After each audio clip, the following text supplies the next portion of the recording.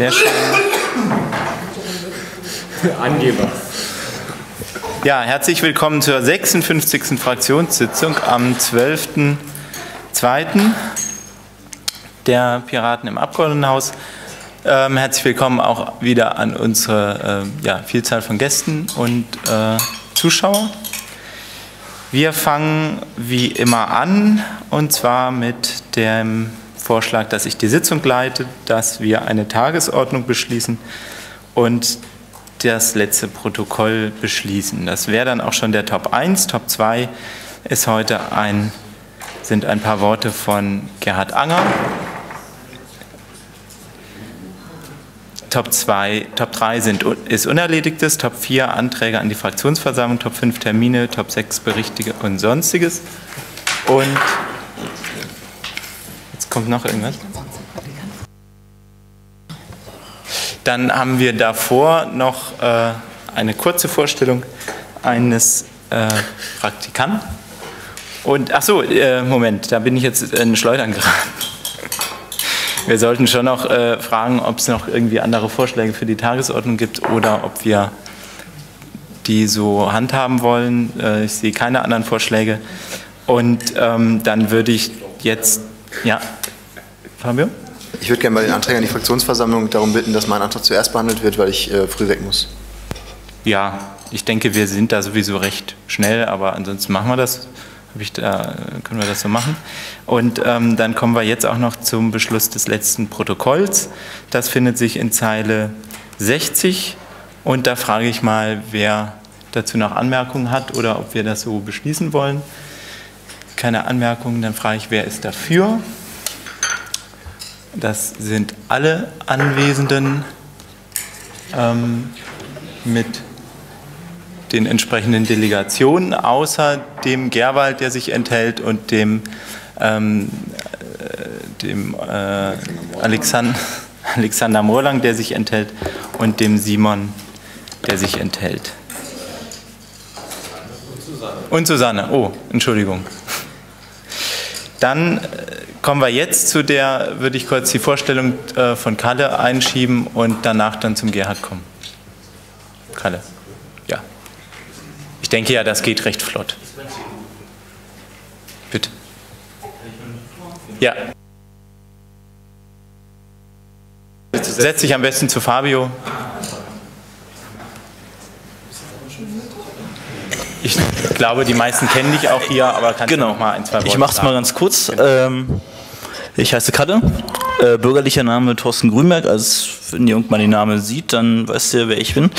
Ähm, ich mache jetzt hier seit äh, Montag offiziell Praktikum im Untersuchungsausschuss mit Martin und äh, Herrn Dr. Benedikt Fungsung. Und ja, bis 11. bis 8. Mai und ja, meisten kennen mich meistens schon von euch. Ich glaube, fast alle habe ich schon irgendwie schon mal gesehen. Also, ja, ja. hier bin ich.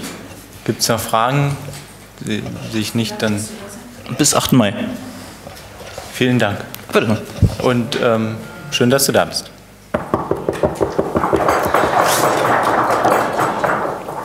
Dann würden wir zu Top 2 kommen und zwar zu Gerhard. Am besten du setzt dich auch dahin, wo das Mikrofon bereitsteht.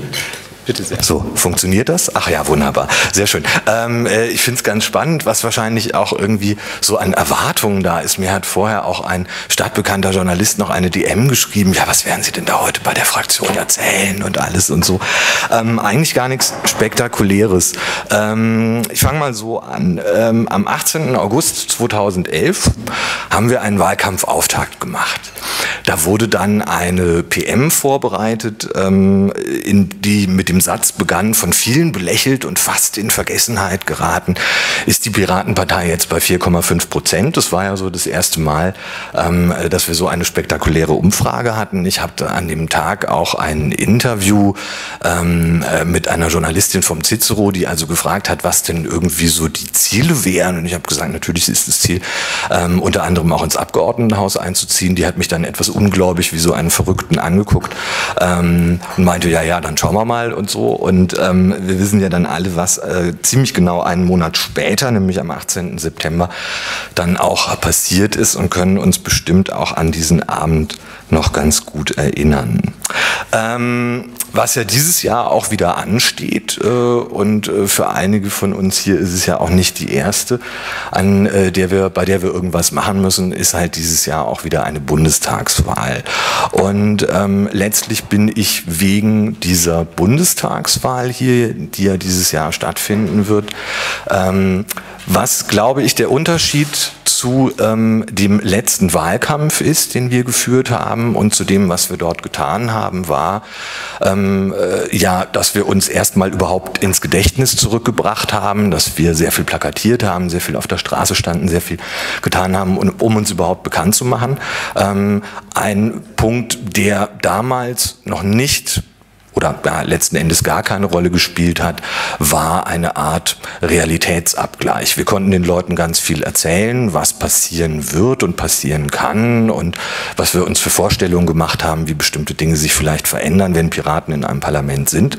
Ähm, jetzt seid ihr hier, zumindest einige äh, der Leute, die hier sind, ähm, seit ja doch ungefähr anderthalb Jahren in einem Parlament. Wir werden uns hier in Berlin, ähm, aber natürlich auch in den drei anderen Bundesländern die ähm, äh, auch über Landtagsabgeordnete der Piraten verfügen, natürlich auch dazu äußern müssen, was tatsächlich und praktisch und real für Dinge geschehen ähm, und äh, sich vielleicht auch, was für Dinge sich vielleicht auch verbessern, wenn Piraten in Parlamenten sind. Ähm, das ist eine, das werden Fragen sein, die alle wahlkämpfenden Piraten und ich und ihr und überhaupt alle werden beantworten müssen. Wir äh, werden nicht mehr die Möglichkeit haben, einfach zu sagen, ja, das sind so die Vorstellungen und äh, lesen Das Programm, ähm, sondern es werden sicherlich auch sehr viele Fragen kommen. Ja, was passiert denn? Was passiert denn Gutes? Was äh, sind denn Erfolge, die vorzuweisen sind und so weiter und so fort? Ähm, und genau das ist der Grund, warum ich da bin. Ich äh, glaube, wir brauchen, wir haben gute Argumente und können die, ähm, äh, können die auch äh, gut ähm, tatsächlich an Wählerinnen und Wähler bringen. Ich glaube aber, äh, und darüber habe ich mich ja auch schon vor einem Dreivierteljahr mal ähm, zugegeben sehr, sehr drastisch geäußert, ähm, äh, sind im Moment nicht in einem Stadium, wo wir diese Argumente wirklich auch gut, ähm, gut rausbringen. Und zwar ähm, glaube ich, im Moment ist es so, weder die Partei ähm, tut es im Moment in ausreichendem Maße, ähm, noch wir zusammen, also als Landesverband Berlin und ähm, ähm, ihr als Fraktion tun es zusammen in ausreichendem Maße. Und ähm, was ich, ja, worauf ich heute letzten Endes hinaus will, ist, ähm, was können wir da machen? Ich erwarte da durchaus auch, ähm, ich kann Vorschläge machen, ähm, ich erwarte durchaus auch von euch Vorschläge. Einige sind auch gerade schon in Nebengesprächen irgendwie bekommen, gekommen. Ein äh, gutes und interessantes Thema ist sicherlich der Untersuchungsausschuss zum Flughafen. Ähm, das wird aber sicherlich nicht das einzige sein. Ich habe vor ein paar Tagen schon mal an den Fraktionsvorstand geschrieben ähm, mit der Idee, ähm, dass wir vielleicht zwischen Landesvorstand und Fraktion oder Fraktionsmitgliedern, also nicht in einer riesigen Runde, sondern vielleicht in einem etwas kleineren Kreis, ähm, einen regelmäßigen Jour fix machen können, um uns mal äh, darüber zu unterhalten, was wir vielleicht auch an gemeinsamen Aktionen planen und durchführen können. Ähm, und ähm, äh, die Frage ist ähm, letzten Endes die, ähm, äh, und ich glaube nicht, dass wir da heute jetzt irgendwie zu konkreten Planungen oder sowas übergehen können, ähm, wie groß letztlich bei euch da das Interesse ist. Bei mir ist das Interesse sehr groß. Ich möchte da also gerne was machen. Es sind ja auch schon jetzt Dinge angestoßen, äh, zum Beispiel durch dieses Vernetzungstreffen. Ich glaube aber, dass vielleicht noch so eine andere Ebene an der Stelle ganz gut sein dürfte. Ähm, und äh, ja, wollte das Thema heute einfach mal anstoßen. Ähm, ähm, und äh, mal sehen, was dann vielleicht auch daraus wird. Ähm, ich weiß nicht, ob es mit dem Joe Fix was werden wird, ähm, aber letzten Endes ist das eigentlich mein einziges Anliegen. Also ich glaube, dass wir ähm, jetzt wirklich damit anfangen müssen, ähm, auch als äh, Landesverband und Fraktion wieder deutlich auch mehr miteinander zu machen, auch äh, deutlich mehr zusammenzuarbeiten und eben auch dafür zu arbeiten, dass wir und alle wahlkämpfenden Piraten und ihr und überhaupt ähm, äh, gute Argumente auch vorbringen können, wenn wir gefragt werden, was passieren für tolle Sachen, die im Parlament, wenn Piraten in einem Parlament sind. Das ist es eigentlich schon. Ja, vielen Dank. Ähm, ich denke, du wirst auf einige Gegenliebe hier stoßen, jedenfalls wenn ich die äh, unsere Mitglieder hier so äh, richtig einschätze.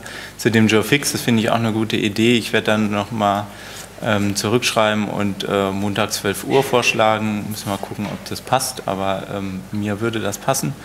Und ähm, ja, dann äh, können wir da jetzt gerne zu diskutieren. Da solche Diskussionen ja manchmal etwas ausarten, würde ich vorschlagen, wir machen mal eine erste Runde maximal bis halb und gucken dann mal, ob wir dann noch weiter sprechen müssen oder nicht. Und der Martin hat sich auch schon gemeldet, bitte. Ähm, ja, erstmal äh, plus eins, also dass wir nicht alleine Wahlkampf machen können als Fraktion und der Landesverband ohne die Fraktion äh, auch nicht und ohne dass wir da helfen, das ist völlig klar. Ähm, ich habe auch schon ein paar Ideen. Ich denke, das sollten wir tatsächlich in so einer Runde äh, diskutieren, die sich explizit mit dem Wahlkampf beschäftigt. Wir haben ja im Landesverband auch ein Beauftragten für die Koordination des Wahlkampfs, der da sicherlich gerne dabei wäre und sein sollte, allein schon zur Kommunikation. Ich habe noch eine andere Frage, weil es, ich finde es schön, dass du jetzt hier bist, weil es so selten ist, dass du hier bist. Und das, ist, äh, das hätte ich gerne öfter. Ähm, bei anderen Fraktionen ist es üblich, dass der, äh, zumindest der Landesvorstand oder beauftragte Personen der Partei regelmäßig äh, auch in der Runde bei Fraktionssitzungen sitzen. So. Das ist jetzt bei uns äh, in der Partei nicht so einfach wie bei anderen Parteien, weil zum Beispiel der Landesvorstand einfach nicht Vollzeit bezahlt wird und jederzeit äh, kommen kann. Unabhängig von so einem Jour-Fixtermin äh, würde ich mich aber freuen, wenn das in Zukunft häufiger passieren kann und würde dich mal fragen, wie die Chancen dafür stehen, dass du oder einer deiner Kollegen uns mal häufiger besuchst und auch dann auf die Finger schaust, wenn wir äh, Haus, wenn wir mal wieder Liquid Feedback nicht so beachten, wie äh, der Landesverband es gerne möchte oder ähnliches. Ja, du kannst ja gerne direkt drauf ähm, ja, die Chancen stehen äh, ganz gut. Ich habe ähm, jetzt, äh, denke ich, auch in den nächsten Monaten auch äh, für solche Termine ein bisschen mehr Zeit. Also ich denke, das können wir sehr gerne machen. Ähm, Hinweis, äh, die Landesvorstände werden bei uns nicht nur nicht Vollzeit bezahlt, sondern gar nicht. Christopher? Ja, ähm, ich wollte mich einfach ähm, Martin und Andreas anschließen. Ähm, ich sehe das ähnlich. Ähm, ich sehe vor allen Dingen die große Chance, das merken wir ja gerade im ähm, Abgeordnetenhaus, dass der Landesverband äh, sich gerade um so Sachen wie Aktionen und Demonstrationen äh, kümmern könnte. Ne? Also es ist eher unüblich, dass jetzt eine Fraktion im Abgeordnetenhaus eine Demonstration organisiert. Dafür sitzt sie im Abgeordnetenhaus. Bei einem Landesverband ähm, sieht es nochmal ähm, anders aus. Und ähm, ansonsten, ja, wenn es die Möglichkeit gibt, es zu verstetigen äh, mit Hinblick auf die Bundestagswahl, würde ich mich persönlich da auch sehr drüber freuen. Ja, gut. Äh dann denke ich, äh, wird sich jeder so seine Gedanken machen und äh, wir werden, ja, ähm, ich schlage dann einfach auch mal vor, ich kann ja dann nächstes Mal auch einfach nochmal vorbeikommen. Ähm, und vielleicht können wir dann äh, bei eurer nächsten Sitzung einen kurzen äh, Follow-up-Tagesordnungspunkt irgendwie machen. Äh, ihr könnt euch natürlich auch gerne bei mir telefonisch per äh, Mail oder sonst wie äh, melden, äh, wenn da jemand jetzt Interesse hat, schon mal genaueres zu besprechen oder konkretere, vielleicht auch Terminvorschläge. Ähm, das kann also ähm, gerne auch jederzeit passieren. Und ansonsten schlage ich halt vor, äh, damit wir jetzt nicht nur alle äh, sagen, ja, ja, wir finden das eine gute Idee und es ist alles sehr schön und so, ähm, äh, sondern dann halt auch tatsächlich Folgetermine und Folgeaktionen resultieren, da jetzt auch dran zu bleiben. Dann komme ich einfach bei der nächsten Sitzung, ihr sitzt nächste Woche auch wieder, oder? Da ist ein, gut. Ähm, dann ähm, äh, zum nächsten Fraktionssitzungstermin einfach wieder vorbeikommen. Ähm, vielleicht bringe ich da auch unseren Wahlkampfbeauftragten mit, wenn er Zeit hat. Ähm, sodass wir da auch wirklich ein Follow-up machen können und äh, das nicht irgendwie im Stadium äh, der allgemeinen äh, Wohlwollensbekundung verbleibt. Gut. Ja, Eiko? Terminvorschlag, ja, jetzt machen wir den Kalender auf. Ich würde vorschlagen, in zwei Wochen, mal nächste Woche ist immer die äh, Vorbereitung der Plenarsitzung, wo es mit den festen Abläufen und mal länger dauern kann. Und ich glaube nicht, dass es sinnvoll ist, an dem Tag das zu machen, weil dann sitzt im Zweifelsfall zwei Stunden lang oder drei Stunden lang hier rum und dann, also das, das, das eignet sich nicht, weil wir nicht fest einen Termin an der Stelle machen können. Deswegen in zwei Wochen wäre besser. Ähm, Alexander? Ja, ähm, also danke äh, Gerhard äh, für deinen Besuch heute. Und äh, das, ich denke, das ist allen klar, dass ähm, der Wahlkampf äh, äh, auch die Unterstützung, der Wahlkampf der Berliner Piraten, aber auch der Bundespiraten natürlich auch die Unterstützung der Parlamentarier und der Fraktionen braucht. Ähm, es geht mir dabei vor allem auch um thematische Fragen und äh, die thematischen Fragen äh, sind ja an sich, äh, dafür sind ja auch die thematischen Arbeitsgruppen da. Also wir sind bei den Sozialpiraten zum Beispiel dabei auch schon Wahlkampfargumente und so äh, zu erarbeiten für unsere Themen. Ähm, aber ich, äh, deswegen finde ich es auch äh, gut, wenn man eben noch mal eine Koordinierungsgruppe hat, die auch guckt, was in den einzelnen Bereichen passiert und da unter Umständen auch Verbindungen zwischen den Parlamentariern und der Partei herstellt. Ja, Gerhard? Gut, ähm, was wir vielleicht, ja, wir haben natürlich, weil du jetzt gerade Arbeitsgruppe gesagt hast, ähm, nächste Woche am Wochenende ja ein relativ großes Event nämlich die Landesmitgliederversammlung und dann die Aufstellungsversammlung, ähm, was sich ja traditionell immer ganz gut eignet, ähm, um für bestimmte Aufgaben Leute zu suchen. Ähm, vielleicht sollten wir uns doch, ähm, wenn auch dann nicht im Rahmen eben einer Fraktionssitzung nächste Woche, das können wir dann ja auch irgendwie anders machen, äh, zur Not irgendwie uns mal zusammen telefonieren oder wie auch immer, mal schauen, ob wir vielleicht tatsächlich bei der Landesmitgliederversammlung Leute aktivieren können, die genau auch an sowas Interesse haben und da mitmachen wollen.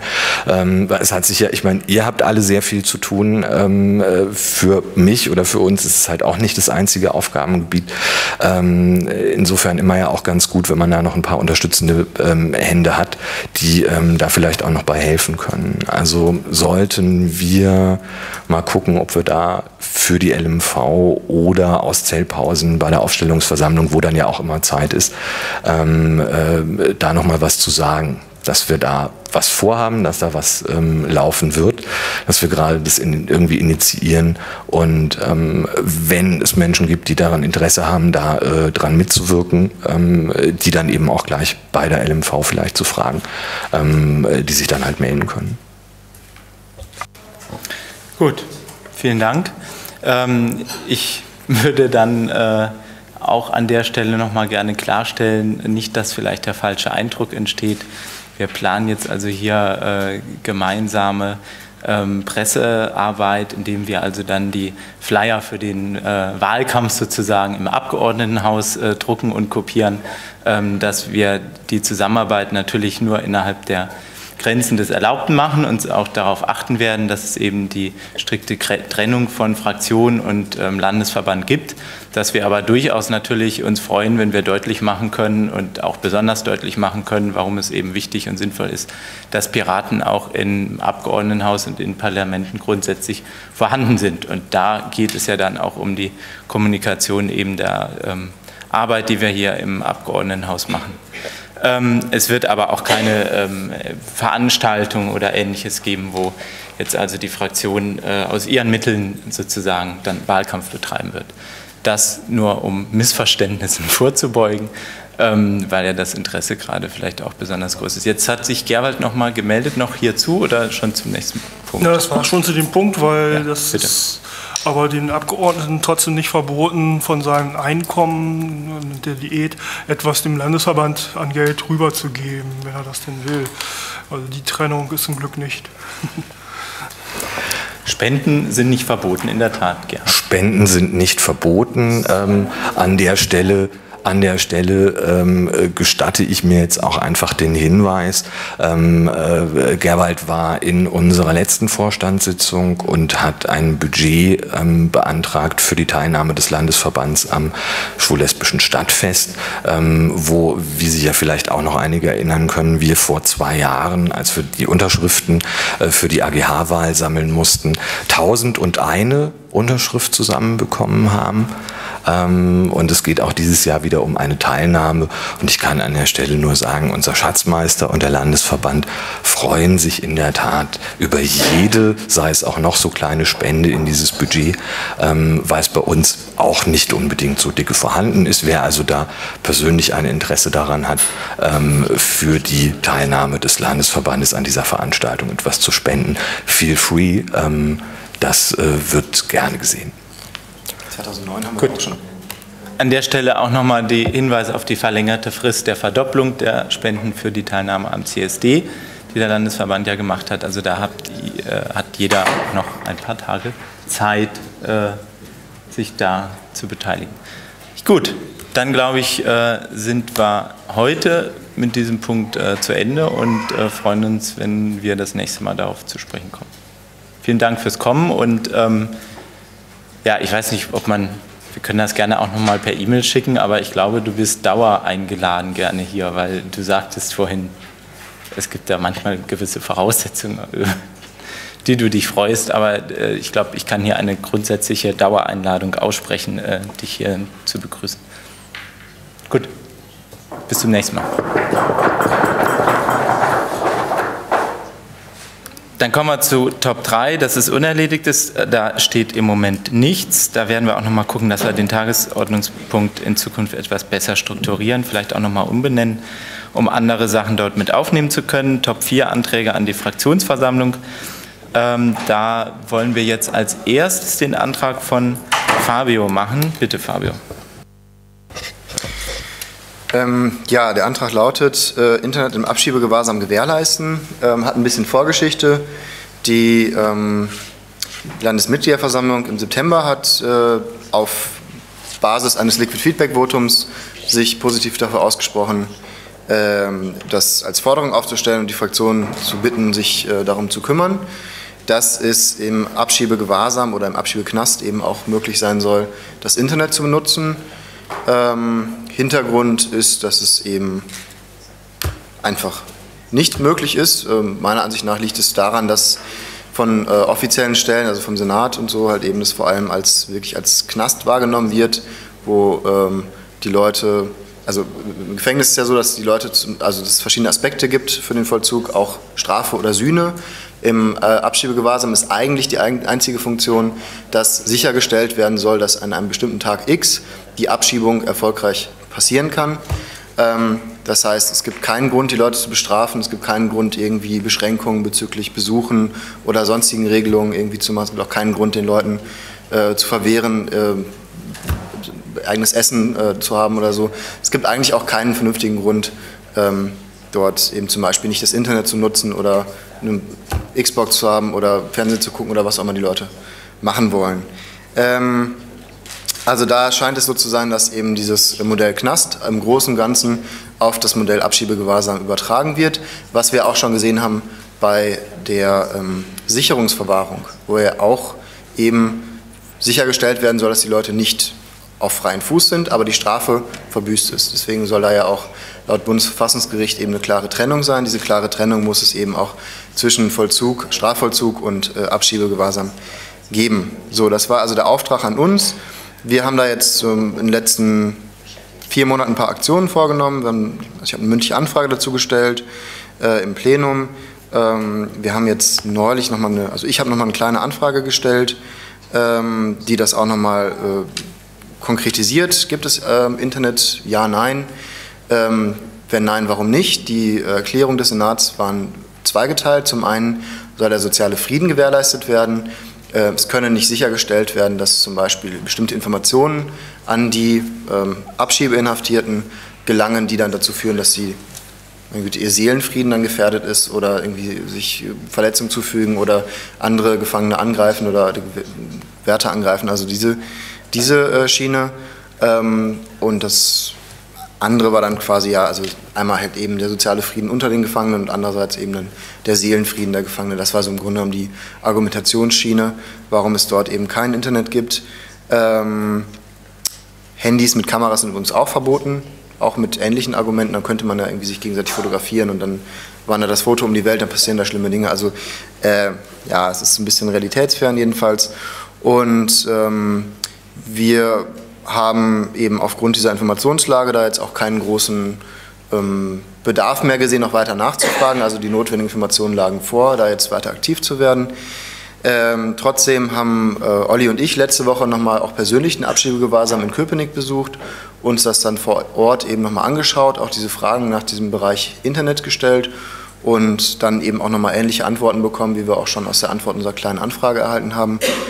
Ähm, und aber uns auch persönlich davon überzeugt, dass es eigentlich keinen vernünftigen Grund gibt, das eben auch nicht zu gewährleisten. Ähm, ja, dann haben wir uns hingesetzt und haben da jetzt einen Antrag geschrieben, ähm, da wir jetzt der Meinung sind, es ist einfach reif, der Prozess ist einfach reif, um da jetzt eben aktiv zu werden. Der Antrag sieht, ähm, also ist ein Antrag zur Veränderung der Gewahrsamsordnung, ist allerdings kein Gesetzesveränderungsantrag oder Verordnungsveränderungsantrag. Also es ist nichts, wo wir sagen, Paragraph 17 Absatz 3 soll jetzt verändert werden, sondern wir sind da eben im Allgemeinen geblieben, weil wir gesagt haben, ähm, es, wir geben hier einen Impuls und ähm, wir sagen klar, was gemacht werden soll, aber es ist jetzt nicht irgendwie unbedingt notwendig, da jetzt äh, exakt den Paragraphen vorzugeben oder ähnliches, auch wenn wir die Paragraphen kennen und es halt auch machen können. Ähm, es ist eben äh, in der Gewahrsamsordnung ähm, des Landes Berlin klar festgelegt, dass es keinen Internetzugang geben soll und dass der Internetzugang nicht, ähm, ja, nicht verfügbar ist und dass eben auch Handys, die über Internet äh, verfügen, eben abgegeben werden müssen beim Eingang in diesen Abschiebegewahrsam. Und äh, das soll geändert werden. Die Gewahrsamsordnung soll ähm, zum einen eben zulassen, dass Internet ähm, Zugang möglich ist, also dass man die Handys nicht mehr abgeben muss, wenn sie internetfähig sind. Zum anderen sind wir aber auch der Meinung, dass äh, Internet nicht nur etwas ist, was auch erlaubt sein soll, sondern es soll sogar gefördert werden. Ähm, dort sind Menschen, die, auch wenn, das, auch wenn das natürlich etwas ist, was ich generell scheiße finde, also sind, ist faktisch einfach so, dass der ähm, Abschiebeknast noch weiter bestehen wird. Der Antrag, den komplett zu schließen, ist ja im Innenausschuss letzte Woche abgelehnt worden. Da kann man jetzt das noch so dämlich finden, den wird es auch weiterhin geben und da wird es auch weiterhin Abschiebungen geben. Ähm, das heißt, äh, wir ähm, müssen uns eben erstmal auch damit beschäftigen, die Bedingungen dort vor Ort auch zu verbessern. Und ähm, äh, ja, der Antrag, ähm, deswegen haben wir eben auch gefordert, dass jetzt, also deswegen steht auch im Antrag drin, dass das explizit auch gefördert werden soll, dass also dort auch Rechner, Arbeitsrechner zur Verfügung gestellt werden, damit halt Recherchen ähm, vorgenommen werden können, damit man sich vorbereiten kann eben auf äh, die Rückkehr in das äh, Ursprungsland und so weiter und so fort. Ja, also wie gesagt, äh, es ist äh, sicherlich möglich, den Antrag äh, anzugreifen auf der Ebene, dass man sagt, naja, das ist jetzt hier nicht das Dringlichste für Leute, die bald abgeschoben werden. Eigentlich müsste man halt an äh, den Abschiebeprozess insgesamt und an die Situation der Existenz von Abschiebeknästen insgesamt gehen, aber das ähm, tun wir auch, ist halt eben eine andere Ebene und ähm, das wäre dann sozusagen meine Antwort auf die Frage. Äh, ja, also wie gesagt, der Prozess ist ähm, angestoßen worden vom Landesverband über Liquid Feedback, über die Mitgliederversammlung, über mündliche Anfrage, kleine Anfrage, Knastbesuch hin zum Antrag. Also ähm, relativ ähm, umfangreicher Prozess. Äh, was jetzt nicht war, war sozusagen, dass jetzt irgendwie irgendwo Widerspruch kam. Also bisher gab es da noch keinen Widerspruch zu der Intention der Sache, ähm, aber ansonsten halt eben ziemlich umfangreiche äh, Angelegenheit. Danke. Ja, vielen Dank. Ähm, zum Ende hin wollte ich noch mal, fast noch mal kurz eingreifen, weil du am Anfang schon deutlich gemacht hattest, wie der Antrag entstanden ist. Jetzt äh, habe ich Martin auf der Redeliste und mich. Martin. Ähm, ja, danke für den Antrag. Also ich möchte erstmal widersprechen. Ich finde, das ist ein wichtiges Problem. Solange es Abschiebeknäste gibt, ähm, muss auch der Zugang zu modernen Kommunikationsmöglichkeiten, gerade für Menschen, die in ein anderes Land reisen müssen und abgeschoben werden, äh, gewährleistet sein. Und es gibt keinen Grund, das, hat auch, das haben auch deine Anfragen und die Anfragen, die ja auch in der Diskussion um, den, um die anderen Anträge äh, waren, gezeigt, gibt keinen Grund, Menschen Zugang zum Internet zu, äh, äh zu verwehren, äh, die halt meiner Meinung nach nicht mal Leuten, die in einem Knast sitzen, aber ähm, gerade für Menschen, die vom, äh, von der Abschiebung bedroht sind, ist das äh, menschenunwürdig und deswegen ist es ein wichtiger Antrag. Ich finde auch, ich wollte nochmal, weil du das auch so mehr oder weniger entschuldigend gesagt hast, Du gehst da, oder wir gehen dann da, und der Landesverband geht dann da mit einer Maximalforderung rein. Und zwar nicht nur, wir erlauben den, die Nutzung von privaten Internet-Handys und was weiß ich, sondern äh, wir wollen das explizit befördern, weil wir das für eine sinnvolle Maßnahme zur Erleichterung oder zur Verbesserung der Lebensumstände halten. Und das finde ich extrem wichtig, weil wir sollten mehr solche Anträge stellen, wo wir uns dann möglicherweise irgendwo in der Mitte treffen. Äh, und äh, deswegen wollte ich nochmal unterstützen, was äh, der Antrag beinhaltet. Finde es auch sehr gut, dass der jetzt so relativ schnell gekommen ist. Gut, vielen Dank. Ich wollte dann nochmal, weil die Frage eine formale Frage einfach, äh, um das nochmal klarzustellen, ähm, fragen, und zwar, weil das in der Vergangenheit manchmal zu Verwirrung geführt hatte. Ähm, welche Unterschiede gibt es denn äh, in deinem Antragstext äh, zu der Liquid Feedback Initiative, die gestellt wurde? Und wenn es keine gibt, ist das natürlich wunderbar.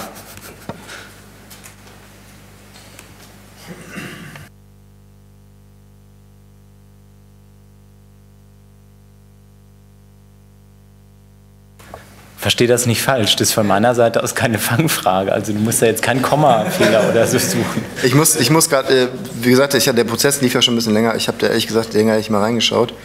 Ähm, hier ist er doch. Moment, ich schaue einfach mal eben rein. Also es war halt ein sehr simple, simples Begehren. Das soll den Leuten jetzt möglich sein, das zu tun. Gut, ähm, also das ist ja, das ist ja okay. Äh, ich wollte nur ähm, sozusagen ähm, nochmal also, deutlich machen. Ich habe ihn jetzt auch gerade, also der ähm, Liquid Feedback Antrag äh, mit 156 zu 9 bei 8 Enthaltungen Stimmen ähm, war eben auch die Ordnung für den Abschiebungsgewahrsam, also die Gewahrsamsordnung ist, ist, um einen Passus zu ergänzen, der den freien Zugang zum Internet sicherstellt. Ähm, und ähm, ja, und die Anstalt hat einen Internetzugang zur Verfügung zu stellen. Das ist eigentlich genau das, was wir ähm, im Antrag jetzt auch geschrieben haben. Ähm, wir haben geschrieben, ja, es ist eigentlich zu 99 Prozent identisch, würde ich sagen. Gut, also ich habe äh, zu deiner Beruhigung auch keinen Unterschied feststellen können. Ich wollte nur noch mal deutlich machen, naja, dass es eben klar ist, dass ähm, wir äh, hier dann nicht äh, irgendwas äh, einreichen, sondern dass wir uns schon an das halten, was wir dann zum Beispiel in Liquid Feedback auch haben. Ähm, gut, dann äh, sehe ich keine weiteren Fragen und ähm, dann kommen wir zur Abstimmung. Und ich frage, wer dafür ist, diesen Antrag so ins Plenum einzubringen. Und das sind alles nur Ja-Stimmen, inklusive Susanne. Und ähm, dann, äh, ja, vielen Dank ist er angenommen und wir kommen zum nächsten Punkt. Das ist in dem Fall Top 4.1 Moratorium KDU Sozialwohnungen. Und da sagt bestimmt Alexander Spieß was zu. Ja, also zum Dritten. Ich fasse mich kurz. Äh, wir haben es ja schon auf zwei Fraktionssitzungen debattiert. Ähm, Im Dezember hatten wir den Schluss gefasst, äh, zusammen mit Grünen und Linken diesen Moratoriumsantrag zu stellen. Das sollte eigentlich ein sehr knapper Antrag sein. Ähm, in der Diskussion äh, wurde er dann teilweise etwas aufgebauscht. Ja. Ähm, ich habe dann, also nachdem eben die Grünen äh, etwas unentschlossen waren, hier noch einmal eine etwas knappere Kurzfassung gemacht, äh, die auch äh, im Liquid zur Abstimmung gestellt. Ähm, Ergebnis ist, äh, dass die Grünen tatsächlich abgesprungen sind. Äh, die Linken würden den Antrag, den wir auch im Liquid ähm, abgestimmt haben, unterstützen. Und äh, deshalb äh, sind wir jetzt so weit, darüber abzustimmen, ob wir den Antrag so einbringen wollen. Gut. Ich äh, äh, ja, danke für die äh, kurze Vorstellung. Wir hatten ja in der Tat da teilweise auch schon sehr lange drüber gesprochen und ausführlich. Ähm, ich sehe jetzt auch keine weiteren Fragen mehr. Wahrscheinlich wurden die nämlich alle schon mal beantwortet. Doch, Martin, bitte. Ähm, wir hatten den schon mal besprochen. Es wäre vielleicht trotzdem nochmal sinnvoll, wenn du wirklich ganz kurz sagst, worum es geht und an welchem Punkt die Grünen zum Beispiel jetzt nicht mitmachen wollten, weil, das, weil äh, ja eigentlich die Initiative von allen drei Oppositionsfraktionen kam. Ich finde den jetzt so, wie er äh, dann jetzt geworden ist, auch sehr viel besser als die äh, vorherigen Anträge. Ähm, aber vielleicht sagst du es nochmal für alle. Vielleicht, ja, vielleicht kann ich mich da kurz anschließen, dann muss man es nicht zweimal machen. Vielleicht kannst du auch nochmal kurz darauf eingehen, tatsächlich, was der Unterschied auch zur letzten Version ist, ähm, was sich da nochmal geändert hat seit, unserem letzten, ähm, seit unserer letzten Vorstellung hier. Ähm, also vor allem gekürzt und das Problem, das eigentliche Problem etwas deutlicher reingeschrieben. Und das sage ich nochmal kurz. Es geht also um Transferleistungsempfängerinnen und Empfänger. Ähm, denen wird ja nach Paragraph 22 SGB II äh, die äh, Wohn- und Heizkosten voll bezahlt. Äh, und zwar im Gesetz steht für angemessenen Wohnraum und auch angemessene Heizkosten. Was angemessen ist, äh, äh, legt die Kommune fest. Äh, in Berlin wurde das im letzten Jahr in, in der neuen Satzung, also der Wohnaufwendungsverordnung, festgelegt. Und das Problem dabei besteht, dass bei den Mietrichtwerten, die dort festgelegt worden sind äh, Sozialwohnungen und Wohnungen, die kleiner sind als 40 Quadratmeter, ausgeklammert wurden, weil die eben relativ teuer sind in Berlin. Ähm, die derzeitigen Mietrichtwerte von 4,91 Euro pro Quadratmeter liegen also in fast immer deutlich unter den Sozialmieten. Sozialmieten ist ein anderes Problem, ein sehr ärgerliches Problem. Äh, da subventioniert der Staat ja die sogenannten Kostenmieten. Wir haben im sozialen Wohnungsbau Kostenmieten von etwa 12 Euro. Die werden dann vom Staat runter subventioniert auf 7 Euro etwa. Ähm, jetzt, da das auch noch zu viel ist, äh, hat ja äh, Müller vorgeschlagen, in Großsiedlungen da auf 5,70 Euro zu gehen oder 5,50 Euro. Das ist aber immer noch mehr als die WAV. Also das Problem ist einfach, dass äh, Sozialmieten und die kleinen Wohnungen in der WAV nicht berücksichtigt worden sind. Das heißt, im Prinzip äh, Mieter von kleinen Wohnungen und Sozialwohnungen aus ihrem Wohnraum verdrängt werden. Wohin sollen die? Das gibt keine Lösung für das Problem, weil es fehlen genau die Wohnungen im einfachen Wohnsegment. Das heißt, in der Regel wird durch dieses Kostensenkungsverfahren nur erreicht, dass die äh, Transferleistungsempfängerinnen und Empfänger aus ihren äh, Lebenshaltungskosten, also äh, ihren, äh, dem, dem Grundbedarf zuzahlen müssen, was dann irgendwann zu Räumungslagen führt, zu Mietschulden und diesem ganzen Problem. Dafür muss es eine Lösung geben. Eine solche Lösung ist nicht in Sicht, weil es gäbe nur zwei Möglichkeiten. Entweder man erhöht die Richtwerte auf die der Sozialmieten. Also aus meiner Sicht ist eine, muss eine Sozialwohnung Wohnung eben angemessener Wohnraum sein. Ja, ähm, nur äh, das, äh, das wäre eben nicht gerechtfertigt in der Situation, weil die Sozialmieten viel zu hoch sind. Oder man subventioniert die Sozialmieten wieder weiter runter. Das ist aber genau das Gegenteil dessen, was die Senatspolitik seit ein paar Jahren macht. Ähm, das heißt, hier muss darüber diskutiert werden und dafür braucht man etwas Zeit und deswegen ein befristetes Moratorium, wo dann die die Leute, die davon betroffen sind, also wie gesagt Transferleistungsempfängerinnen und Empfänger eben, die in Sozialwohnungen wohnen, dass die eben, äh, dass da der Druck runtergenommen wird, also dass sie Angst haben müssen, äh, eben, äh, dass eine Miet- eine Räumungsklage kommt oder dass sie eben Obdachlosenunterkünfte abgeschoben werden. Und in dieser Zeit muss aber eine Lösung für das Problem gefunden werden. Und hier ist genau der Dissens mit den Grünen, weil die Grünen sagen, sie wollen eben eine Lösung vorschlagen für das Problem und die gleich behandeln, aber dafür braucht man eben noch etwas Zeit. Und wir sagen, wir wollen erstmal sagen, Moratorium Moratorium, um die Zeit zu haben, zu diskutieren. Okay, vielen Dank. Gibt es noch weitere Fragen? Das sehe ich nicht. Dann kommen wir zur Abstimmung. Und ich frage, wer es also dafür, diesen Antrag in der aktuellen Fassung einzubringen. Das sind auch wieder alle Anwesenden mit allen Delegationen. Vielen Dank. Geht auch gar nicht anders. Geht auch gar nicht anders. Ich erwähne es trotzdem.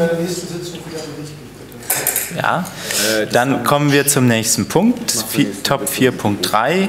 Top 4.2 hatten wir schon ganz am Anfang, das war der Abschiebegewahrsam. Ähm, und zwar jetzt zur Änderung der Geschäftsordnung. Das ist ein Antrag von Christopher. Bitte. Ja, ich hatte euch ja, ich glaube, in der vorvergangenen Woche eine Mail rumgeschickt zu einem Pad, äh, wo es also um diese Änderung der Geschäftsordnung des Berliner Abgeordnetenhauses geht. Ähm, ich, der Text, der jetzt hier vorliegt, ist äh, sinngemäß dasselbe, äh, ist aber nochmal eine andere Formulierung. Ich lese es gerade nochmal vor.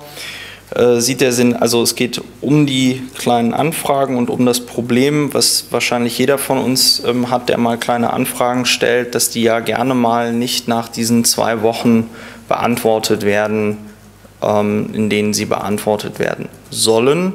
und des Senatsverwaltung auch mal gerne die Soll-Regelung als eine Muss-Regelung interpretieren und sagen, äh, in der Zeit, in der wir eine kleine Anfrage beantworten müssen, können wir diese Anfrage nicht beantworten, deswegen beantworten wir sie nicht. Das ähm, habe ich als äußerst unbefriedigend wahrgenommen, deswegen hier dieser Antrag sieht der Senat sich nicht in der Lage, die kleine Anfrage innerhalb von zwei Wochen zu beantworten. So ist dies dem fragenden Mitglied des Abgeordnetenhauses unter Nennung eines voraussichtlichen Antwortdatums und den Gründen der Verzögerung unverzüglich, jedenfalls aber vor Ablauf der Frist von zwei Wochen mitzuteilen. Diese Regelung würde also bedeuten, kleine Anfragen sollen nach wie vor innerhalb von zwei Wochen beantwortet werden. Wenn der Senat nach zwei Wochen merkt, äh, dass er nicht in der Lage ist, das zu tun, muss er äh, dem fragestellenden Abgeordneten unter Nennung eines voraussichtlichen Datums und des Grundes der Verzögerung, also nicht nur, äh, ja, ist schwierig, ähm, dann sagen, wann die Frage beantwortet wird und äh, ja, das müssen wir auch jetzt nicht groß irgendwie im Plenum debattieren oder so. Ähm, Würde mich einfach freuen, wenn wir diese Änderung der GO hinbekämen. Heiko? Das ist ja ein Problem, was nicht nur wir haben, was ja auch die anderen Fraktionen alle kennen und auch aus den Regierungskoalitionen kennen und auch nicht so lustig finden, weil manche von den äh, ihre Verantwortung äh, parlamentarische Kontrolle dann auch wahrnehmen wollen und sich da ebenfalls eingeschränkt werden.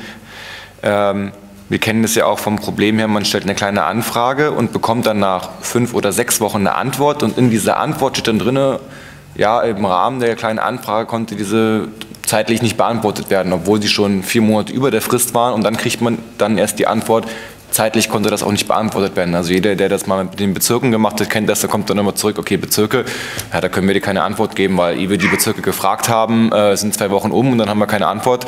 Aber es dauert halt trotzdem mindestens vier Wochen, äh, bevor man die Antwort bekommt, dass man keine Antwort geben kann. Äh, wenn ich nach zwei Wochen weiß, ich kriege keine Antwort, dann kann ich mich darauf einstellen und kann entweder sagen, okay, gut, dann gebe ich euch mehr Zeit oder was wir ja auch immer hatten, war, dass der Senat dann gesagt hat, okay, äh, macht das in einer großen Anfrage oder so. Aber als wir es dann in einer großen Anfrage gemacht haben, hat er gesagt, gesagt äh, das wollen wir eigentlich auch nicht haben, weil da müssen wir ja die große Anfrage beantworten und da, äh, das wollen wir auch nicht schriftlich machen. Deswegen ist es eigentlich ganz sinnvoll an der Stelle. Christopher? Ja, ich wollte noch auf eine Sache hinweisen, damit es hier nicht zu Missverständnissen kommt. Durch diese Neuregelung hätte der Senat nicht mehr die Möglichkeit, eine kleine Anfrage nicht mehr zu beantworten. Ja? Weil ähm, in dem Moment, in dem er sie nicht in zwei Wochen beantworten kann, muss er eben ein Antwortdatum äh, liefern. Martin? Ich kann das auch noch mal, nur noch mal unterstützen. Ähm, ich kann mich noch an aufs äh, Ältestenratssitzungen erinnern, wo sich alle Fraktionen einig waren, dass man da dem Senat die Pistole auf die Brust setzen müsste. Bis seitdem ist nichts passiert. Äh, dann muss halt ein Antrag her. Ich bin auch der Meinung, das kann man durchaus im Plenum, zumindest in irgendwie in der zweiten Lesung, äh, mal, mal besprechen. Willst du es gleich abstimmen lassen oder überweisen? Christopher?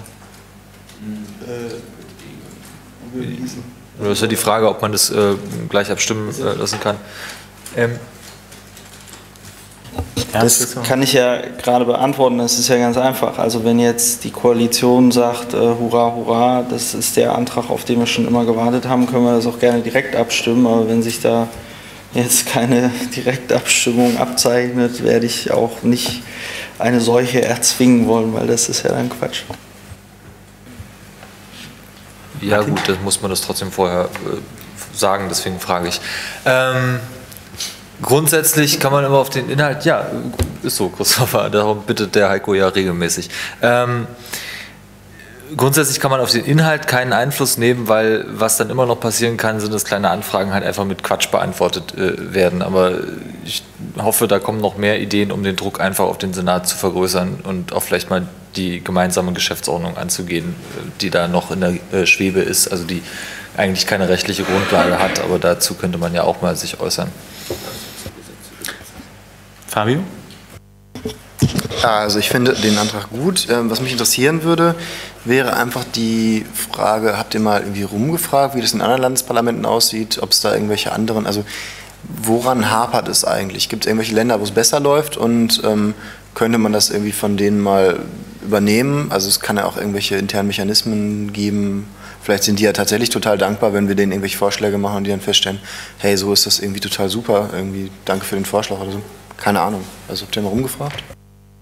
Nee, also jetzt eine Umfrage in anderen Landesparlamenten hat äh, hier nicht stattgefunden an der Stelle, woran es hapert, habe ich ja vorhin beschrieben. Es äh, findet immer wieder statt, dass äh, kleine Anfragen nicht innerhalb von zwei Wochen beantwortet werden und einem dann als Abgeordneten auch eben nicht gesagt wird, wann diese Beantwortung stattfinden wird oder dass sich Senatsverwaltungen darauf zurückziehen zu sagen, ähm, innerhalb dieser zwei Wochen Beantwortungszeit können wir sie nicht beantworten, deswegen beantworten wir sie gar nicht, obwohl es eine Sollbestimmung innerhalb der Geschäftsordnung des Berliner Abgeordnetenhauses ist und keine Mussbestimmung.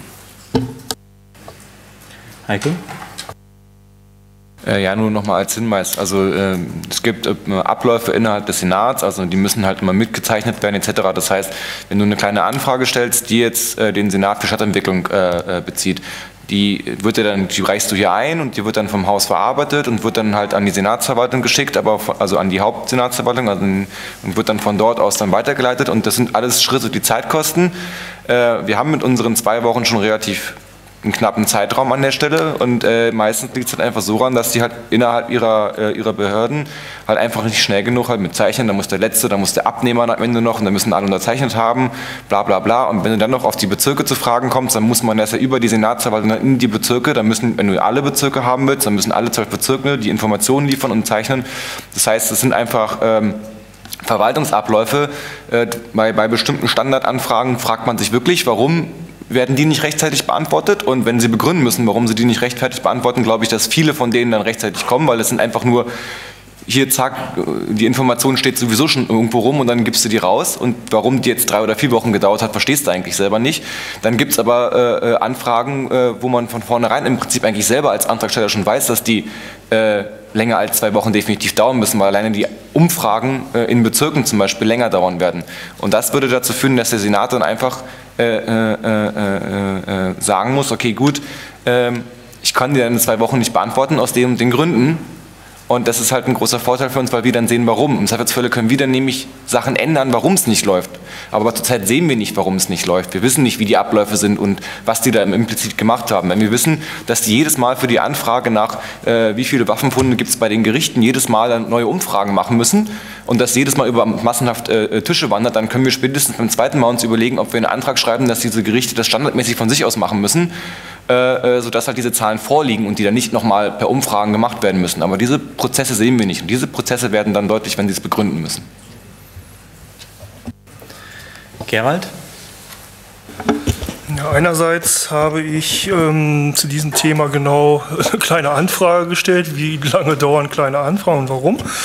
Das andere, was mir in der Ausführung des Antrags, der mir vom Grundsatz her gefällt, ein bisschen als Gefahr äh, gesehen wird, wie wird abgesichert, dass das jetzt nicht missbräuchlich verwendet wird? Also wie verhindert man, dass der Senat bei Anfragen, die normalerweise in der Regelzeit beantwortet werden könnten, wenn sie es denn wollten, mit dieser Regelung dann sich ausdehnen können in der Zeit und sagen, das ist jetzt Termin XY und machen das vermehrt bei den kleinen Anfragen, weil diese zwei Wochen Frist ist ja auch in den meisten Fällen ja so eine Art Disziplinierung, dass es schnell gehen soll. Und das hier ist sozusagen die Möglichkeit, dass es gegen uns verwendet wird, also von gut gemeint und dann wird es falsch verwendet. Ja, darauf würde ich noch kurz antworten. Das ist ein sehr guter Punkt, Gerwald. Es ist natürlich so, dass wir jetzt im Moment die Situation haben, ähm, dass ja diese Sollregelung schon vom Senat missbraucht wird. Immer dann, wenn er sagt, naja, wir können es innerhalb von zwei Wochen nicht beantworten, deswegen beantworten wir es gar nicht. Ne? Ich sehe das auch. Es besteht natürlich die Gefahr, dass dann der Senat sagt, ja, wir brauchen für die Beantwortung der kleinen Anfrage ein halbes Jahr oder sowas. Ja. Aber witzigerweise muss das der Senat ja begründen. Und da, ähm, sage ich mal, spielt dann natürlich wieder die Öffentlichkeit eine Rolle, Ähm, denn genauso wie wir ja auch äh, unter Beobachtung stehen als Parlamentarier, steht der Senat es ja auch. Und wenn ich da irgendwie eine kleine Anfrage stelle, wo auch einem Normalsterblichen ersichtlich wird, okay, das wird, müsste eine Behörde innerhalb von zwei Wochen können, ja, und dann halt als Antwort kommt, ja, nee, wir brauchen da jetzt halt zwei Jahre für, weil äh, ist gerade schwierig. Ähm, solche Antworten kann man dann ja veröffentlichen. Ne? Und von daher sehe ich da jetzt nicht so die große Gefahr ähm, des Missbrauchs, denn damit würde sich der Senat in Berlin halt selber blamieren. Danke. Ähm, zwischendurch mal eine technische Durchsage an alle mit äh, Geräten. Wer, so wie ich gerade, auch mal wieder Probleme mit dem PER-WLAN hier hat, der möge sich doch an äh, Daniel wenden, weil wir das ja im Moment sammeln, solche Störungen, um dem mal auf den Grund zu gehen und um Abhilfe zu schaffen.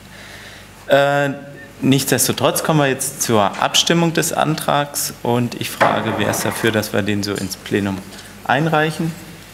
Das ist eine ganz überwältigende Mehrheit mit allen Stimmen. Vielen Dank. Und damit sind wir auch schon am Schluss unserer Anträge und wir kommen zum nächsten Top Termine. Da sehe ich im Moment noch nichts. Gibt es wichtige Termine? Ich hatte vorhin so ein Klingeln im Ohr, Martin.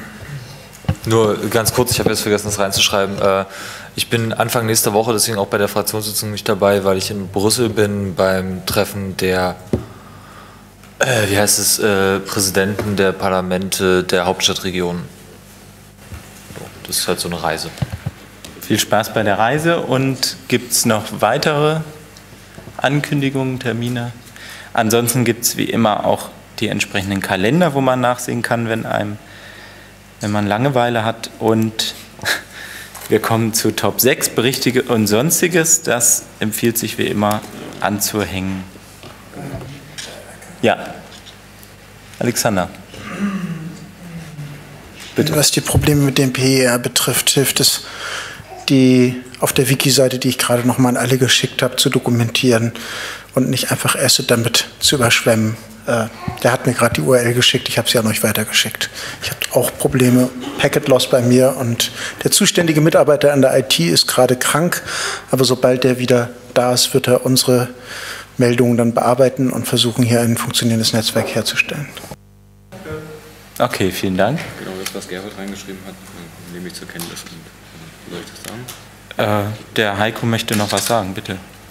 Ja, weil es bisher nur im Protokoll drin steht, Gerwald hat reingeschrieben, dass äh, mit dem ähm, mit der Vertretungsregelung, wie das mit dem Abstimmverfahren ist. Wir haben es in der letzten Fraktionssitzung ja besprochen und, und, dort entschieden, dass wir das jetzt in Zukunft so machen, dass man halt nicht mehr splitten kann. Ich werde zur nächsten äh, Fraktionssitzung dort einen, äh, die Geschäftsordnung dementsprechend anpassen, sodass wir es dann nochmal alle schriftlich haben und damit keine äh, Missverständnisse aufklären, wie es anscheinend bei Alexander Morlang der Fall ist, sodass wir es dann fertig, äh, fix und fertig geklärt haben.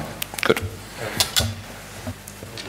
Martin? Ähm, es gibt ja noch andere GO-Regelungen und äh, ähm, ich habe mich bereit erklärt, den Heiko äh, dem dabei zu helfen. Alex, äh, zur Genese, so wie ich mich erinnere, ist es so, dass wir ein Meinungsbild über die Interpretation des entsprechenden Abschnitts hatten und das war sehr eindeutig.